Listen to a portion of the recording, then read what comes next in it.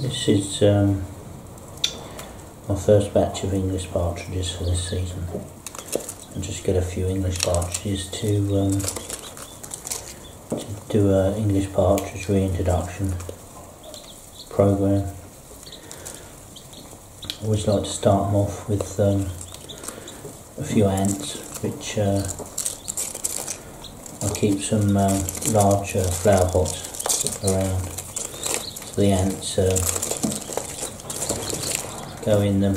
And then uh, when the English partridges arrive I uh, tip out the flower pot and uh, out come the ants.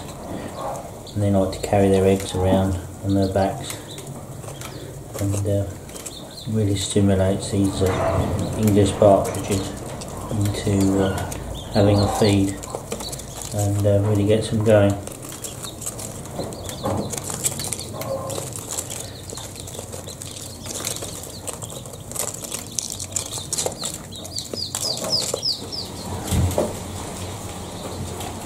The chicks are now um, around about five days old and they're uh, really responding well to um, some egg yolk.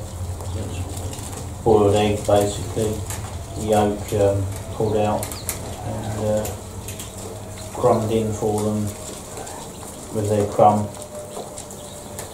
They uh, also been eating quite a few ants, which they uh, get ever so excited about.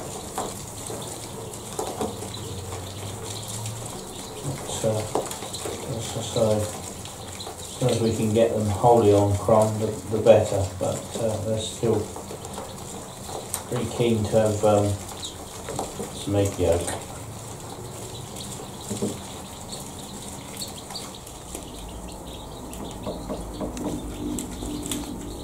Okay, this is uh, the meal they've been waiting for though. They, uh, they like their ants.